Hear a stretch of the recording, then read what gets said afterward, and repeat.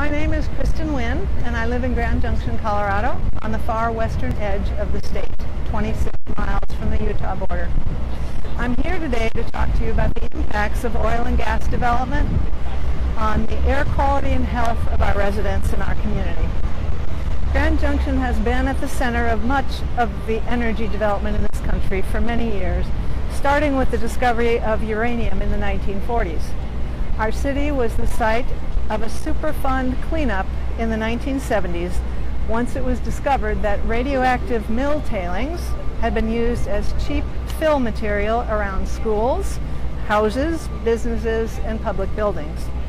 We now know that exposing people to radioactive ma material is a dangerous practice and we wouldn't think of doing that today. When we know better, we can do better. I feel that the current development of oil and gas is very similar. We are learning more and more that exposing people to some of the chemicals that are used in extracting oil and gas, the poisoning of wells and water sources, and venting large amounts of methane into the atmosphere has serious consequences for our health and our environment. We need to take steps now to ensure that the development of these resources does not come at the expense of increases in asthma, respiratory problems, heart attacks, and strokes. Here's what it feels like to have an asthma attack. You wake up and it feels like an elephant is sitting on your chest. Each breath is a struggle and you wheeze and sometimes cough uncontrollably. I had serious asthma attacks when I was very young and growing up in Chicago, before the establishment of the EPA and the clean air standards. I missed 52 days of kindergarten back then. I thought I had outgrown my asthma in my 20s, but it never really leaves. What I and others my age have discovered is that as we age, our asthma symptoms come back, especially if we are exposed to air pollution. Grand Junction is located in a bowl surrounded by high mountains. We are subject to temperature inversions in, the, inversions in the winter that trap pollutants in the cold air at the bottom of the valley while warm air settles over the top like closing the lid on a pot. Several years ago, the inversion in Grand Junction lasted for several months, and all of my old asthma symptoms came back. I was coughing, wheezing, and experiencing difficulty breathing. Many other residents of the valley were experiencing the same thing, and we formed a group called Citizens for Clean Air.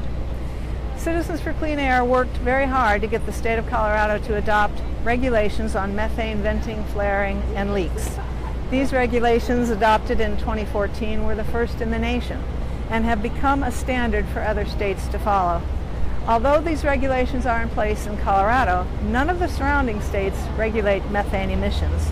A strong EPA rule on methane would help protect all citizens of our country. Several months ago, I had an opportunity to tour oil and gas sites just north and west of Grand Junction near Vernal, Utah. We were with a representative from Earthworks who brought along a $100,000 FLIR camera which can record methane emissions that are not visible to the human eye. We toured close to 15 sites and the far majority were leaking methane. At one site with two large condensate tanks, as the young man from Earthworks was filming, we heard a tremendous whooshing sound that continued for three and a half long minutes. The young man with the camera was yelling that he had never seen such a large release of methane, and I was wondering about the wisdom of being anywhere near this site.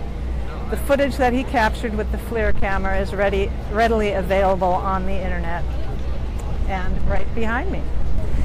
The scariest thing about this whole experience was that I have driven past these oil and gas operations without giving them much thought because I really couldn't see what I was being exposed to. And neither can anyone else. In my mind, it is unconscionable that we would continue to let this happen to our environment without taking steps to regulate these methane releases. Also, the strong rules in Colorado do not protect me and my neighbors from venting and leaks across the border in Utah, which is only 26 miles away, which is why we need strong federal standards. When we know better, we can do better.